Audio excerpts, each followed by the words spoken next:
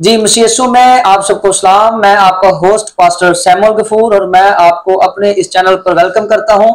آج ہمارے ساتھ ایک گیسٹ ہے عظیم خدا کی خادم ریورنڈ بشپ ڈاکٹر یوسف بڈی صاحب۔ آج ہمارے ساتھ ہیں اور آج ہم کلام مقدس میں سے ایک بڑے اہم ٹاپک پر بات کرنے والے ہیں۔ اور یہ آج کا جو ٹاپک ہے، وسط مسیح۔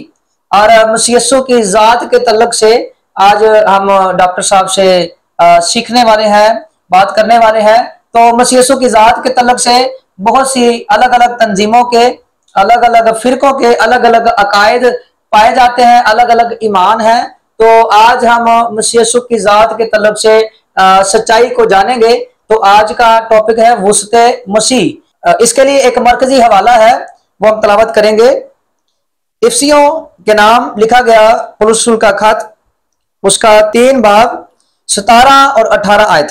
کلام مقدس میں یوں مرکوم ہے، اور ایمان کے وسیلہ سے مسیح تمہارے دلوں میں سکونت کرے، تاکہ تم محبت میں جڑ پکڑ کے اور بنیاد قائم کر کے سب مقدسوں سمیت بخوبی معلوم کر سکو کہ اس کی چوڑائی اور لمبائی اور اونچائی اور گہرائی کتنی ہے۔ خدا کا پاکلام پڑھا، سنا، قبول کیا، جانا ہم سب کے لیے باعث برکت ہو۔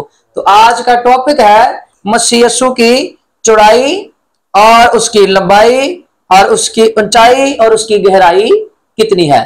اس کے تعلق سے ہم خدا کے عظیم خادم reverend doctor bishop Yousuf Bhatti صاحب سے ہم اس کے تعلق سے جانیں گے۔ جی بشپ صاحب، پلیز آپ۔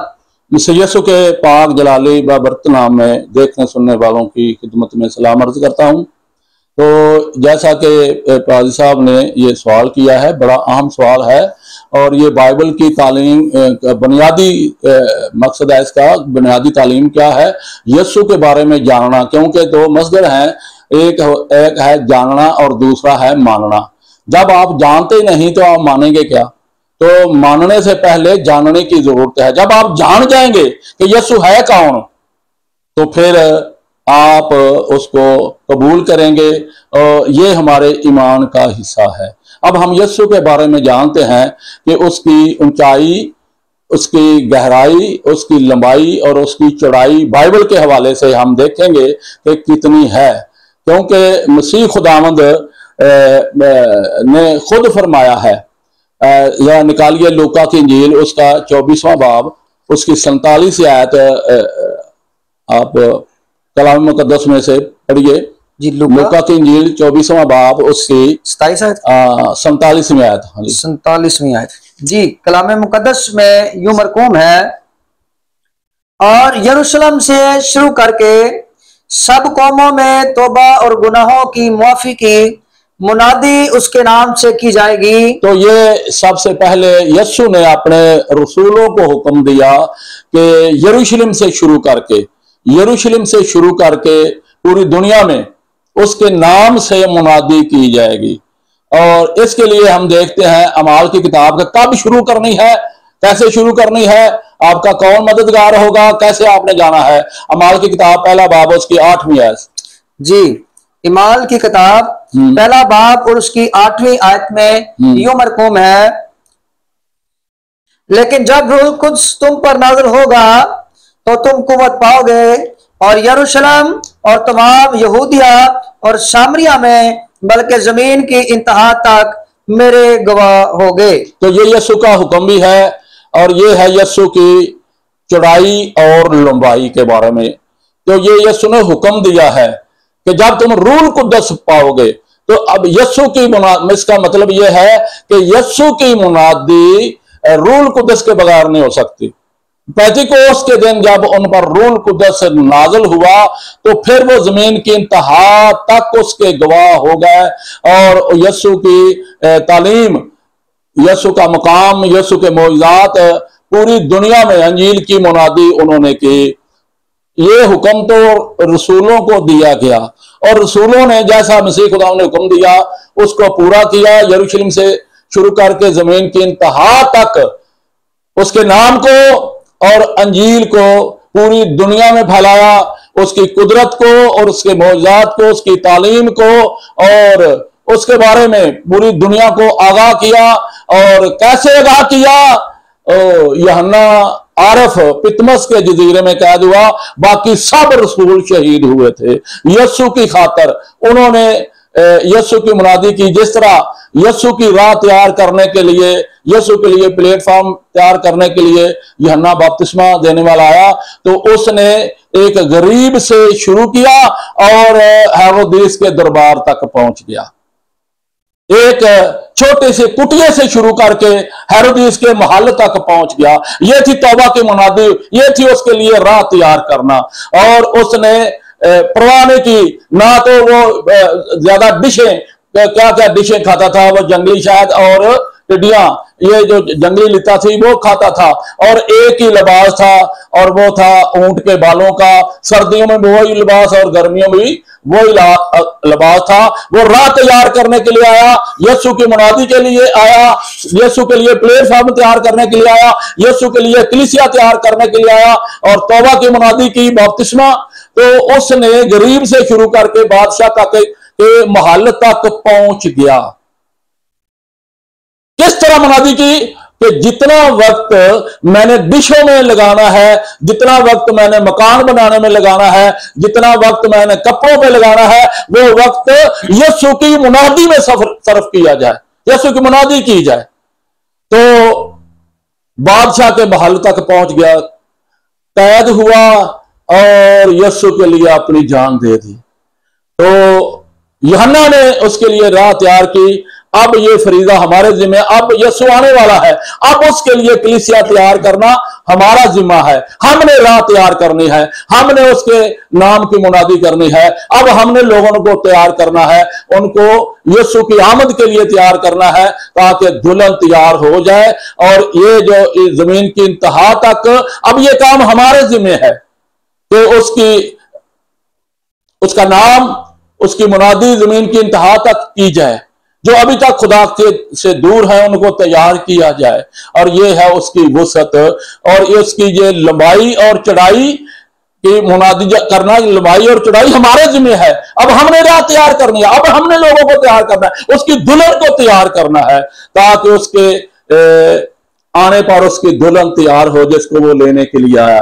تو یہ ہے اس کی لمبائی اور چڑھائی۔ اور آج پوری دنیا میں، پوری دنیا میں یسو کو جاننے والے، پوری دنیا میں یسو کی منادی کی جائے۔ ہر مذہب میں منادی کی جا رہی ہے اور پوری دنیا میں یسو کو ماننے والے ہیں۔ اس وقت پوری دنیا کی جو کل آبادی ہے، وہ آٹھ ارب کے قریب ہے، جن میں نصف جو ہے، وہ مسیحی ہے دو سو چھ ملک ہے اور بتالی چار ہزار دو سو مذاہب ہیں۔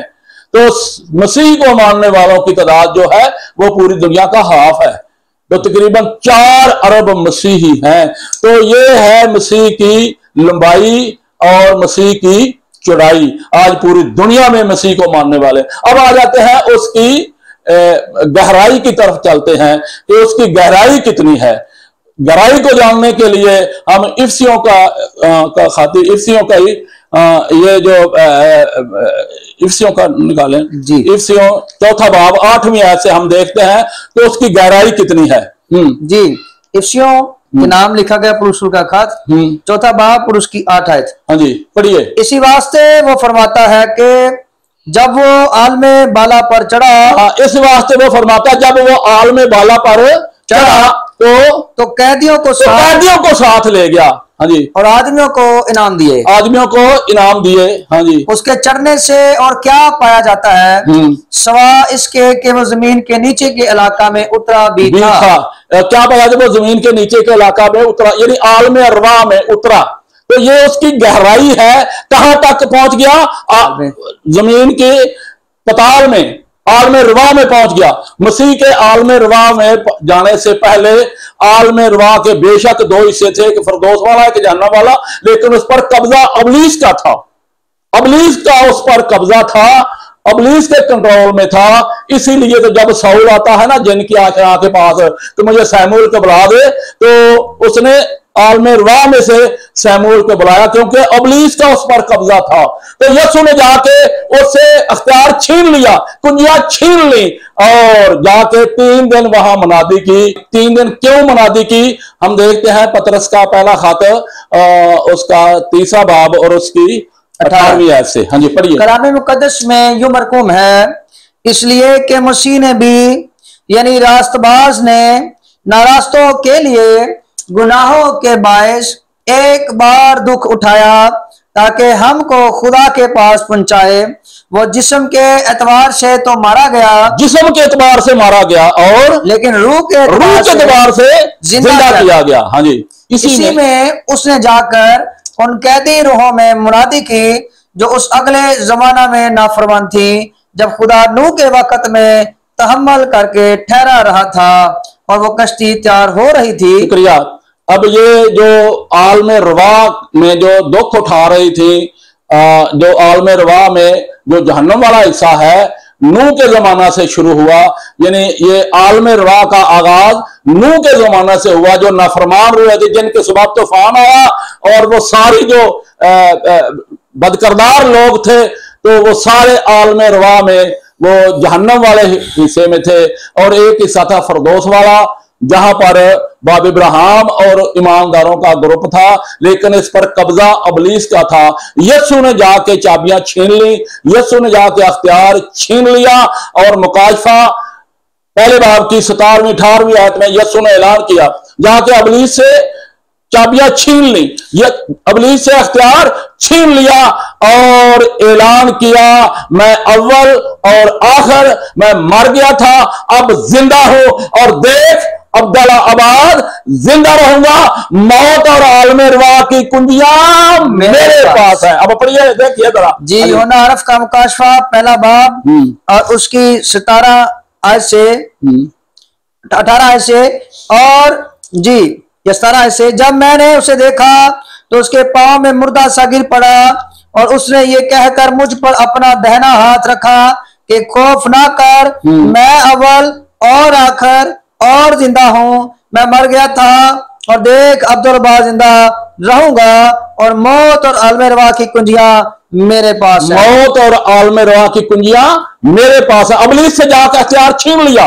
ابلیس سے کنجیاں چھین لی اور عالم روا میں تین دن کیوں منادی کی؟ چونکہ یہ جو جہنم میں تھی جو روح تھی وہ نو کے زمانہ سے۔ تو جب ہم اس پیریڈ کا تعین کرتے ہیں تو نو سے لے کے مسیح خداوت تک تین ہزار سال کا پیریڈ بنتا ہے۔ جب ہم دیکھتے ہیں بائبل مقدس میں تو پیریڈ کا تعین کرتے ہیں کہ آدم سے لے کے نو تک ایک ہزار سال ہے اور نو سے لے کے ابراہم تک دو ہزار سال۔ ابراہم سے داؤ تک تین ہزار سال اور داؤ سے مسیح خدام تک چار ہزار سال بنتے ہیں۔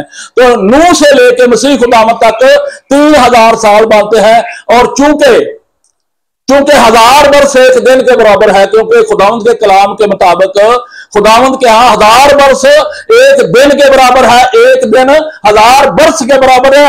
اس لیے یسو نے جو تین ہزار سال سے جو جہنم میں تھی، ابلیس کے قبضہ میں تھی، عذاب میں پڑی تھی، دکھ اٹھا رہی تھی، تین دن منادی کر کے انہیں اپنی خبر دی اور انہیں آزاد کر کے انہیں آسمان پر لے گئی۔ اس نے تین دن منادی کی۔ اور یہ یسو کی گہرائی ہے۔ یہ ہے یسو کی گہرائی۔ اور افسیوں کے جیسا افسیوں کے خط کے چوتھے باب کی آٹھویں آیت میں لکھا ہے۔ ہاں۔ اسی واسطے وہ فرماتا ہے۔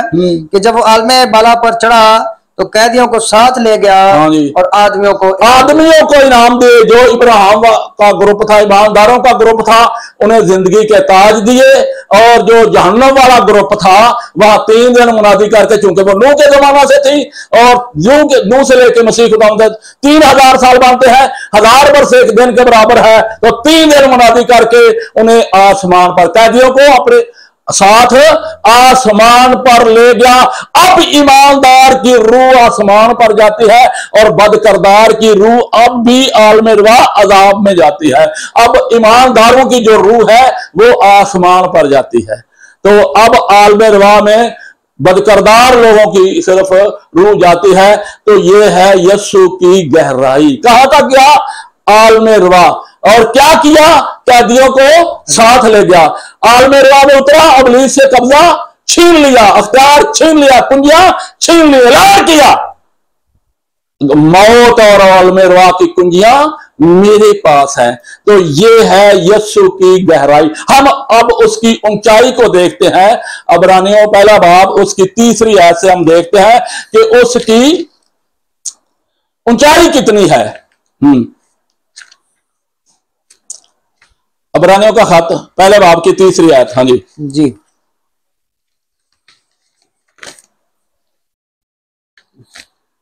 ہاں۔ جی ابرانیوں پہلا باب۔ اس کی تیسری آیت آپ دیکھتے ہیں تو اس کی اونچائی کتنی ہے۔ کلام مقدس میں یوں مرکوم ہے عمرانیوں کے نام لکھا گیا خط پہلا باپ اور تیسری آیت۔ وہ اس کے جلال کا پرتو اور اس کی ذات کا نقش ہو کر سب چیزوں کو اپنی قدرت کے کلام سے سنبھالتا ہے۔ وہ گناہوں کو دو کر عالم بالا پر کبریا کی دینی طرف جا بیٹھا۔ وہ کبریا کی دینی طرف جا بیٹھا۔ یہ ہے یسو کی اونچائی۔ گہرائی کہاں تک؟ عالم روا۔ اونچائی کہاں تک؟ کبریا کی دینی طرف۔ عالم بالا پر کبریا کی دینی۔ وہ گناہوں کو دھو کر گناہوں کو دھو کر کبریا کی دینی طرف جا بیٹھا۔ یہ ہے اس کی اونچائی۔ اب ہم اس کو بائبل مقدس میں ہم نے پروو کیا ہے اور جو اس کی لمبائی اور چڑھائی یہ ہمارے ذمہ ہے، ہم نے زمین کی انتہا تک اس کی منادی کرنی ہے، لوگوں کو تیار کرنا ہے۔ گہرائی اس نے قیدیوں کو آزاد کیا اور آسمان پر چلا گیا۔ اونچائی کہاں تک ہے؟ عالم بالا پر، کبریا کی دینی طرف بیٹھا ہے۔ اور وہاں سے وہ لینے کے لیے اپنے لوگوں کو آل رہا ہے۔ خدا اپنے کلام کے وسیلہ آپ سب کو برکت دے۔ جی ہم ایمان رکھتے ہیں کہ آپ نے اس کلام کے وسیلہ سے برکت پائی ہوگی۔ تو اسی طرح سے اب ہم آپ کو ملتے ہیں نیکسٹ ایپیسوڈ کے اندر۔ تو ہم اپنے اس یوٹیوب چینل پر آپ کو خدا کے خادم خدا کے خادم کے کئی میسیجز ملتے رہیں گے۔ تو ان ویڈیوز کو دیکھیں، خدا کے کلام کو دوسروں تک شیئر کریں تاکہ زیادہ سے زیادہ لوگ برکت پا سکیں۔ God bless you